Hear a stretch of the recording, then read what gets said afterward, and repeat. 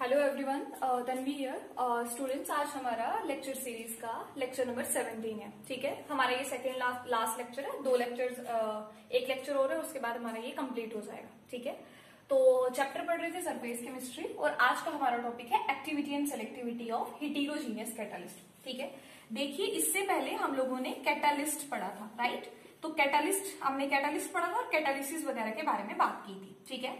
तो कैटालिस्ट क्या होता है? कैटालिस्ट वो सबस्टांस है जिसको हम क्या करते थे?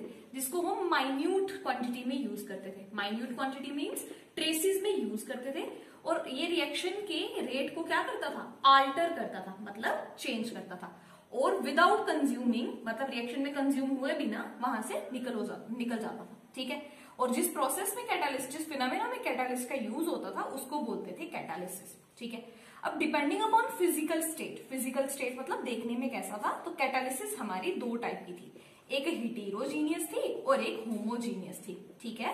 हिटीरोजीनियस में क्या था? जो रिएक्टेंट प्रोडक्ट और कैटालिस्ट थे, वो डिफरेंट फेजेस में थे। मतलब अगर एक सॉलिड है तो बाकी दो लिक्विड में गैसेस में ऐसा कुछ था मतलब डिफरेंट डिफरेंट थे। होमोजीनियस में क्या था? जो भी आपके रिएक्टेंट प्रोडक्ट और क्या कैटलिस्ट वो सारे के सारे सेम फेजेस में थे, या तो लिक्विड या गैसेस क्योंकि तीन सॉलिड अगर हम ले लेंगे, वो रिएक्शन नहीं करेंगे राइट तो आज का हमारा टॉपिक है activity and selectivity of heterogeneous catalyst ठीक है? राइट देखिए हमारे पास क्या है? हमारे पास दो इंपॉर्टेंट डेफिनेशन है एक्टिविटी और सिलेक्टिविटी एक्टिविटी क्या है? एक्टिविटी कैपेसिटी होती है किसी भी कैटालिस्ट की क्या करने की? रिएक्शन के रेट को बढ़ाने की मैनी बाय मैनी फोर्स मतलब जैसे कोई भी हमारे पास रिएक्शन है, जैसे आपके पास रिएक्शन है हाइड्रोजन ये फ़र्स्ट एक्टिविटी की एग्जांपल में दिखवा रही हूँ। जैसे हाइड्रोजन और ऑक्सीजन है ईयर में प्रेजेंट है, आप उनको ऐसे ले लो, ठीक है? मतलब नॉर्मल कंडीशन में अगर हम उसको ले लें, ठीक है? नॉर्मल कंडीशन में अगर हम क्या ले लें? हाइड्रोजन और ऑक्सीजन गैशियस फॉर्म में ले लें तो ये कभी भी रिएक्शन नहीं करते, ठीक है? लेकिन अगर यही चीज़ हम क्या करें? हाइड्रोजन और ऑक्सीजन गैशियस फॉर्म में अगर हम किसकी प्रेजेंस में लें? अगर हम प्लेटिनम मेटल की प्रेजेंस में ले लें और इसको हीट कर दे थोड़ा सा कितने पे 1100 केल्विन तक तो हमारे पास वाटर बन जाता है लिक्विड स्टेट ठीक है? तो अब यहाँ पे क्या हुआ? नॉर्मल कंडीशन में सेम रिएक्टेंट थे कोई भी रिएक्शन नहीं। लेकिन कैटालिस्ट आया और इसने हाइड्रोजन और ऑक्सीजन को रिएक्शन करवाई और आपके पास वॉयलेंटली बड़ी तेज फास्ट रिएक्शन होती है और आपके पास वाटर बन जाता है। इसका मतलब क्या है? इसका मतलब ये जो प्लेटिनम है इस, इसने क्या किया? ये आपके पास ये एक्टिविटी है इसकी ठीक है? ये इसकी कैपेसिटी है क्या करने की? रिएक्शन के रेट को बढ़ाने की। पहले रिएक्शन हो ही नहीं रही थी नॉर्मल कंडीशन में ये आया और इसने रिएक्शन को फास्ट बना दिया राइट ओके सेकेंड चीज़ हमारे पास क्या है? सेकेंड चीज़ है हमारे पास सिलेक्टिविटी ठीक है? तो एक्टिविटी में हमने पढ़ा कैपेसिटी के बारे में कि कितना वो रेट बढ़ाता है। सिलेक्टिविटी में क्या होता है? आपके पास कैटालिस्ट है, ठीक है? एक रिएक्शन है, जैसे हम लोग इसमें एग्जांपल बहुत फ़ेमस एग्जांपल है, ठीक है? ये इथाइन की, दो कार्बन है तो इथ बोलते हैं ट्रिपल बॉन्ड प्रेजेंट है तो इथाइन बोलते हैं, ठीक है? नॉर्मली क्या होता है? जब भी हम इसकी रिडक्शन करवाते हैं रिडक्शन मीन्स हम इसमें क्या ऐड करेंगे? हम इसमें हाइड्रोजन ऐड करेंगे। ठीक है? तो हाइड्रोजन ऐड करेंगे। अब डिपेंड करता है आप हाइड्रोजन किस, किसकी प्रेजेंस में ऐड कर रहे हो राइट जैसे अगर आप हाइड्रोजन निकल की प्रेजेंस में ऐड करते हो, या फिर आप हाइड्रोजन यहाँ पे एक बहुत फ़ेमस कैटालिस्ट है, जिसको बोलते हैं लिंडलर्स कैटालिस्ट ठीक है? अच्छा जी, अब अगर आप इसकी प्रेजेंस में करते हो तो क्या होता है? और इसकी प्रेजेंस में करते हो तो क्या होता है? अगर आप हाइड्रोजन इथाइन में ऐड करो तो क्या होगा? यहाँ से बॉन्ड डबल ट्रिपल बॉन्ड टूटेगा डबल बनेगा डबल बॉन्ड टूट सिंगल बनेगा। तो यहाँ पे जब भी आप हाइड्रोजन को निकल के प्रेजेंस में ऐड करो तो इथाइन जो है उसके बीच में सिर्फ़ सिंगल बॉन्ड बचता है, ठीक है? और आपके पास क्या होगा? आपके पास बन जाएगा इथेन मतलब हाइड्रोजन यहाँ पे टू टू एटम्स यहाँ पे और टू एटम्स यहाँ पे। ये दोनों के दोनों बॉन्ड टूट जाएँगे, ठीक है? दो बॉन्ड यहाँ पे टूटेंगे तो इसको दो एच मिलेंगे, इसको भी दो एच मिल जाएँगे। तो आपके पास बन जाएगा सी एच थ्री और सी एच इथेन बन जाएगा। मतलब इसकी कंप्लीट रिडक्शन हो जाएगी, ठीक है? हाइड्रोजन ऐड करने को रिडक्शन बोलते हैं तो कंप्लीट रिडक्शन हो जाएगी यहाँ पे पास लेकिन जब आप सेम चीज़ हाइड्रोजन को आप लिंडलर्स कैटालिस्ट की प्रेजेंस में ऐड करोगे तो क्या होगा? सिर्फ़ एक ही बॉन्ड टूटेगा। अब एक ही बॉन्ड टूटेगा तो क्या होगा? यहाँ पे आपके पास दो बॉन्ड बच जाएँगे सी डबल बॉन्ड सी ठीक है? और इधर क्या है? एक एच ये और एक एच यहाँ से ऐड होगा तो सी एच टू और सी एच टू इसका नाम क्या आ जाएगा? इसका नाम आ जाएगा इथाइन ठीक है? सॉरी इथीन सॉरी तो आपके पास क्या हुआ? आपके पास ये डिफरेंट कैटालिस्ट है, ठीक है? तो सेलेक्टिव है सेलेक्टिव इन द सेंस अगर आप इसको यूज़ करते हो तो ये डिफरेंट प्रोडक्ट बनाता है और अगर आप इसको यूज़ करते हो तो ये डिफरेंट प्रोडक्ट बनाता है। तो अब ये क्या होगी ये इनकी सेलेक्टिविटी होगी सेलेक्टिविटी का क्या मतलब है? किसी भी कैटालिस्ट की एबिलिटी क्या करने की? किसी एक रिएक्शन को उसकी डायरेक्शन चेंज करने की। मतलब अगर आपने ये डाला तो ये प्रोडक्ट बनेगा। अगर आपने ये डाला तो ये वाला प्रोडक्ट बनेगा। ठीक है? तो मतलब हम लोगों ने यहाँ पे दो डेफिनेशन पढ़ी। एक पढ़ी एक्टिविटी एक्टिविटी क्या होती है? किसी भी कैटालिस्ट की कैपेसिटी रिएक्शन की रेट को कई गुना बढ़ा की। और सिलेक्टिविटी क्या होती है? एक कैटालिस्ट डालोगे तो डिफरेंट प्रोडक्ट बनेगा दूसरा कैटालिस्ट डालोगे तो डिफरेंट प्रोडक्ट बनेगा ठीक है? अच्छा लिंडर्स कैटालिस्ट क्या होता है? इसके बारे में थोड़ी सी बात कर लेते हैं। तो लिंडर्स कैटालिस्ट एक मिक्सचर है ठीक है? आ, किस किस का मिक्सचर है ये आपके पास? हम लोग ले लेते हैं आपके पास यहाँ पे फाइव परसेंट पैलेडियम और कैल्शियम कार्बोनेट ठीक है? अच्छा जी उसके बाद आपके पास क्या आता है? उसके बाद आपके पास लेड एसिडेट इसमें डाला होता है। और क्विनोलिन ठीक है ये तीन चीज़ें हम लोग लेते हैं और हमारे पास क्या बनता है? हमारे पास लिंडर्स कैटालिस्ट बनता है। ठीक है? पैलेडियम मेटल है कैल्शियम कार्बोनेट और लेड एसिडेट इसमें डालेंगे और क्विनोलिन डालेंगे। क्विनोलिन क्या होता है? क्विनोलिन एक क्या है आपके पास?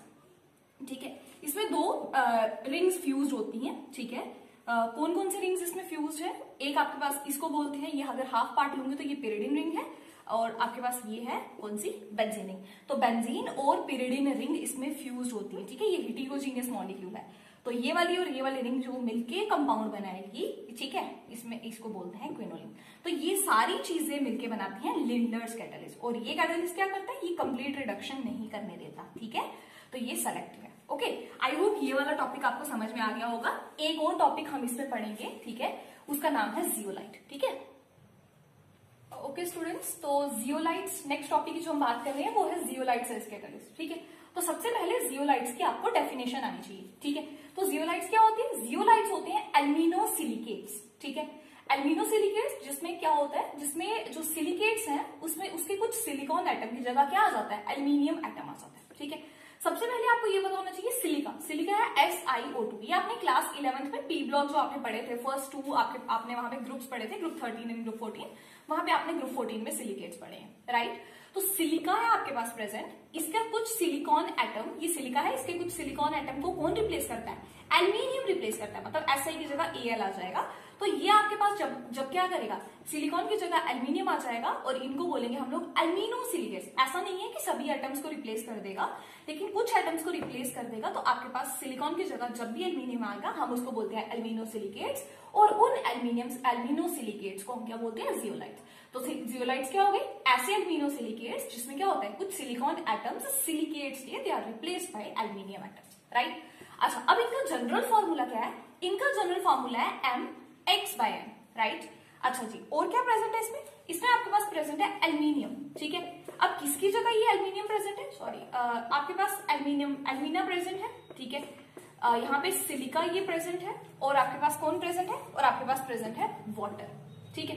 अब देखिए ये डिफरेंट डिफरेंट क्वांटिटीज में प्रेजेंट है। जैसे ये एक्स टाइम्स प्रेजेंट है, ये वाई टाइम्स और ये जेड टाइम्स अब ज़रूरी नहीं है कि ये एक्स वाई और जेड डिफरेंट हो, ठीक है? देख, ये कुछ भी नंबर हो सकते हैं। एक्स कुछ पर्टिकुलर नंबर होगा वाई कुछ पर्टिकुलर नंबर होगा जेड कुछ पर्टिकुलर नंबर होगा। ये सेम भी हो सकते हैं और डिफरेंट भी हो सकते हैं, ठीक है? और एम क्या है यहाँ पे? एम जो है आपके पास एम आपके पास है मेटल आइन ठीक है? ठीक है, कोई भी मेटल आइन आ सकता है मैक्सिमम ग्रुप वन या फिर ग्रुप टू से ये बिलोंग करेगा ओके एन क्या है? एन जो मेटल आइन पे चार्ज आएगा चार्ज ऑन मेटल आइन ठीक है? जैसे अगर सोडियम की मैं बात करूँ तो एन उसके केस में एन की वैल्यू क्या हो जाएगी? वन हो जाएगी, है ना? अगर मैग्नीशियम की बात करूँ तो उसके केस में एन की वैल्यू क्या हो जाएगी? टू हो जाएगी, ठीक है? जो एम कितनी बार कितने टाइम्स कितने एम आएँगे, वो कहाँ से पता चलेगा? जितने आपके पास एल्यूमिना होंगे, ठीक है? जितना एक्स ये है, यहाँ पे जितना एक्स लिखा होगा, वो उस मेटल के साथ एक्स लिखेंगे और उसके चार्ज से उसको डिवाइड कर देंगे तो हमें पता चल जाएगा क्या हमारे पास मेटल हमें यहाँ लिखना है वन लिखना है टू लिखना है थ्री लिखना है क्या, ठीक है? सिलिका आ, मतलब यहाँ पे सिंपली सिलिकेट अगर होता तो होना चाहिए था एस आई ठीक है? लेकिन एल्यूमिनो सिलिकेट है तो एस आई में आई के बजाय कुछ एटम्स जो है दे आर रिप्लेस्ड बाय इसके साथ? एल्यूमिनियम के साथ तो आपके पास A L O two extra चीज़ इसमें आएगी राइट और जेड टाइम्स वाटर मतलब इसमें वाटर ऑफ़ क्रिस्टलाइजेशन कुछ भी नंबर हो सकता है ठीक है? अच्छा जी एक्स क्या बताया मैंने आपको? जितने एल्यूमिनियम यहाँ से जितने एल्यूमिनियम एटम्स ने सिलिकॉन को रिप्लेस किया होगा उतने टाइम्स एक्स आएगा। और एन क्या बताया? Charge on the metal Y और जेड क्या वाई है जितने सिलिकॉन एटम्स सिलिका प्रेजेंट है सिलिकॉन एटम्स प्रेजेंट है, और जेड आपके पास क्या है? वाटर ऑफ़ क्रिस्टलाइजेशन ठीक है? अब देखिए, जैसे इसकी बहुत सारी एग्जाम्पल्स है, एक एग्ज़ाम्पल हम लिखेंगे। हमारे पास एग्ज़ाम्पल है इरियोनेट ठीक है? अच्छा इस एग्ज़ाम्पल में आपके पास क्या है? इस एग्ज़ाम्पल में आपके पास सोडियम है पोटेशियम है कैल्शियम मैग्नीशियम मतलब मेटल की जगह चार मेटल आइंस आपको दिए गए हैं। ठीक है? अच्छा और इसमें जो एल्यूमिनियम प्रेजेंट है टू वो है टू टाइम्स प्रेजेंट जो सिलिका इधर प्रेजेंट है, वो है सिक्स टाइम्स प्रेजेंट और six times water present right अब प्रॉब्लम क्या है? प्रॉब्लम यहाँ पे ये है कि यहाँ पे वाई और जेड सेम है तो ये प्रॉब्लम नहीं है, ठीक है? जो जिस मॉलिक्यूल में जितने भी प्रेजेंट होंगे, वो उसके हिसाब से हम लोग लिखेंगे, ठीक है? तो ये एक्स वाई और जेड यहाँ पे सेम है। अब यहाँ पे टू टाइम्स एल्यूमिनियम है तो इन सब के साथ में क्या करूँगी? टू लिख लेती हूँ, है ना? अब क्या करना है? इसको एन से डिवाइड करना है। तो सोडियम पे कितना चार्ज होता है? वन वन से डिवाइड करूँगी। इसको पोटेशियम पे भी वन होता है कैल्शियम पे टू होता है मैग्नीशियम पे टू होता है। तो हमारे पास इसका क्या फॉर्मूला बनेगा? हमारे पास बनेगा एन ए टू को वन से डिवाइड करेंगे तो टू पोटाशियम टू कैल्शियम को चार्ज उसके ऊपर टू होता है और टू से उसको डिवाइड करेंगे तो क्या आएगा? आपके पास आ जाएगा कैल्शियम और मैग्नीशियम ठीक है? एल्मीना कितने टाइम्स है? ये एल्मीनियम वाला टू टाइम्स ओके सिलिको सिलिका वाला कितने टाइम्स है? Six times and six times water तो ये सिंपल सी एग्ज़ाम्पल है। ठीक है?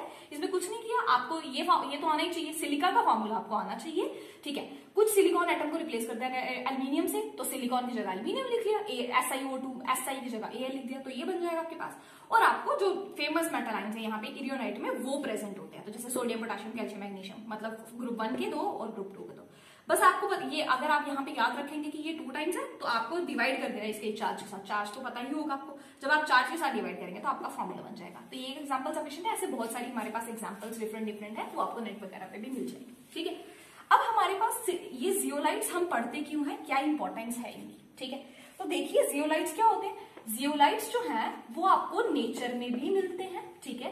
और हम लोग इनको क्या कर सकते हैं? हम लोग इनको सिंथेसाइज भी कर सकते हैं लैब में। मतलब लैब में प्रिपेयर भी कर सकते हैं। ठीक है? अब हमारे पास जियोलाइट्स का क्या होता है? इनका ना हनी कॉम लाइक स्ट्रक्चर होता है। ठीक है? हनी कॉम लाइक स्ट्रक्चर इनमें प्रेजेंट होता है। मतलब इनका स्ट्रक्चर कुछ इस तरीके से होगा। जैसे आपने अगर मधुमक्खी का छत्ता देखा होगा तो इस तरीके से इनका स्ट्रक्चर रहता है। ठीक है? अब इनके स्ट्रक्चर में ये जो आपको होल्स दिख रहे हैं ना, ये होल्स दिख रहे हैं। यहाँ पे वाटर ऑफ़ क्रिस्टलाइजेशन प्रेजेंट होता है। ठीक है, जो आप वाटर ऑफ़ क्रिस्टलाइजेशन डॉट डाल के आप वाटर पढ़ रहे थे, वो यहाँ पे प्रेजेंट होता है, ठीक है? अब हम क्या करते हैं, हम लोग इसको एज सच हम लोग इसको पढ़ रहे हैं, इसका यूज़ एज कैटालिस्ट तो हम लोग इसको एज अ सच कैटालिस्ट की तरह यूज़ नहीं करेंगे। हम क्या करते हैं, हम लोग इसको हीट करेंगे, ठीक है? जब हम इसको हीट करते हैं ना तो क्या हो जाता है, जो वाटर होता है, वो इवेपोरेट हो जाता है, ठीक है? जब वाटर इवेपोरेट हो जाएगा तो यहाँ पे कुछ होल्स बच जाएँगे। क्या होगा? कुछ होल्स यहाँ पे बच जाएँगे। और उन होल्स का पर्टिकुलर साइज़ होगा। यहाँ पे जो साइज़ रेंज आती है वो आती है seven two sixty to seven forty picometer ठीक है? आपको पाइकोमीटर पता होना चाहिए वन पाइकोमीटर कितना होता है? Ten power minus twelve metre बहुत छोटा यूनिट है राइट तो ये इतना आपके पास two sixty to seven forty picometer आपके पास साइज़ यहाँ पे बच जाएगा। इसीलिए जब भी हम इसको यूज़ करेंगे तो ये क्या करेगा? ये अपने इन होल्स में क्या करेगा?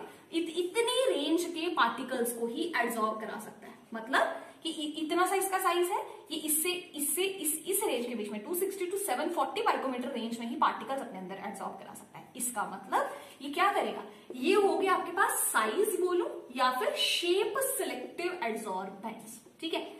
क्या पढ़ा हमने?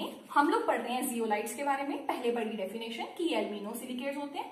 इसमें three dimension network of silicates होता है, जिसमें सिलिकॉन एटम को कुछ सिलिकॉन एटम को कुछ एल्यूमिनियम एटम रिप्लेस कर देते हैं। फॉर्मूला पढ़ा एस आई ओ टू था।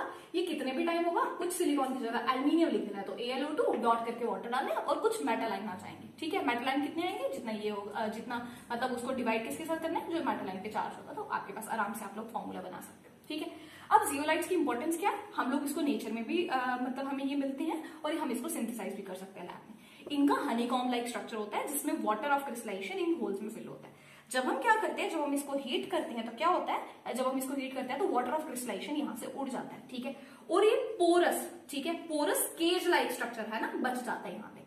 अब हम इसको क्या कर सकते हैं? इसको इसका इन के, केजेस का या बोलू इनका ये जो यहाँ पे जगह बचेगी जो स्पेसिस यहाँ पे बचेगी उनका क्या होगा? उनका इस रेंज, रेंज में आपके पास साइज़ आएगा। अब इस रेंज में अगर आपके पास साइज़ आएगा तो आप जब भी इसको किसी में किसी में भी चीज़ में डालोगे तो अगर इस साइज़ के पार्टिकल्स वहाँ पे होंगे तो ये अपने आप में उसको उन पार्टिकल्स को फिट करा लेगा ठीक है? जब उनको फिट करा लेगा तो हम उन पार्टिकल्स को क्या कर सकते हैं? मतलब कुछ भी वहाँ पे जो भी हमें चेंज करानी होगी वो हम वहाँ पे करा सकते हैं ठीक है? अब जियोलाइट्स की इंपॉर्टेंस क्या है? ठीक है देखिए इसकी बहुत सारी इंपॉर्टेंसेज हैं। जैसे एक इंपॉर्टेंस है हार्ड वाटर को साफ्ट बनाने के काम आता है। आपके पास हार्ड वाटर है उसको क्या करने के काम आता है? सॉफ्ट बनाने के काम आता है, ठीक है? अब हार्ड वाटर क्या होता है? हार्ड वाटर होता है जो सोप के साथ आपको क्या करता है? लेदर नहीं देता है, ठीक है? क्यों? क्योंकि एल्यूमिनियम और मैग्नीशियम के कुछ कंपाउंड्स यहाँ पे प्रेजेंट होते हैं, वो कंपाउंड्स सोप के साथ लेदर नहीं बनने देते।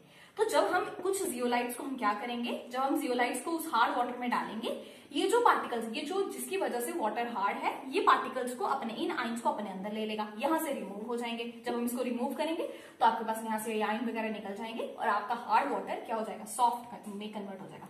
तो इसीलिए ये आइन एक्सचेंज रेसिंग बोलू या फिर इनको मतलब की हार्ड वाटर को साफ़ बनाने के नाम आता है। ठीक है? और ये कहाँ पे आपके पास यूज़ किया जाता है? ये आपके पास पेट्रोलियम इंडस्ट्री में यूज़ किया जाता है। ठीक है? पेट्रोलियम इंडस्ट्री में आपके पास क्यों यूज़ करते हैं हम लोग इसको? हमारे पास एक रिएक्शन होती है जिसको बोलते हैं क्रैकिंग ये भी आपने क्लास इलेवंथ में पढ़ी है। इसमें बड़े बड़े मॉलिक्यूल्स को छोटे छोटे मॉलिक्यूल्स में कन्वर्ट करते हैं तो वहाँ पे यूज़ करते हैं। ठीक है? एक फ़ेमस बहुत फ़ेमस आपके पास क्या है? जियोलाइट है, जिसका नाम है जेड एस एम फाइव ठीक है? तो वो आपको फॉर्मूला आपको मिल जाएगा। नोट्स वगैरह में जब भी मैं सेंड करूँगी तो मिल जाएगा।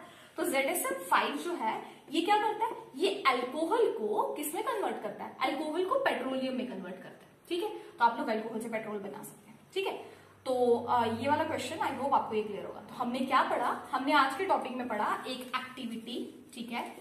एक्टिविटी क्या होती है? किसी भी कैटालिस्ट की कैपेसिटी क्या करने की? रिएक्शन के रेट को फास्ट करने की इंक्रीज करने की, कुछ पर्टिकुलर मतलब कुछ कई गुना, ठीक है? नेक्स्ट हमने पढ़ा सिलेक्टिविटी सेलेक्टिविटी क्या होती है? कि कोई कैटालिस्ट है, वो रिएक्शन का एक प्रोडक्ट बनाएगा और कोई वाला दूसरा प्रोडक्ट बनाएगा।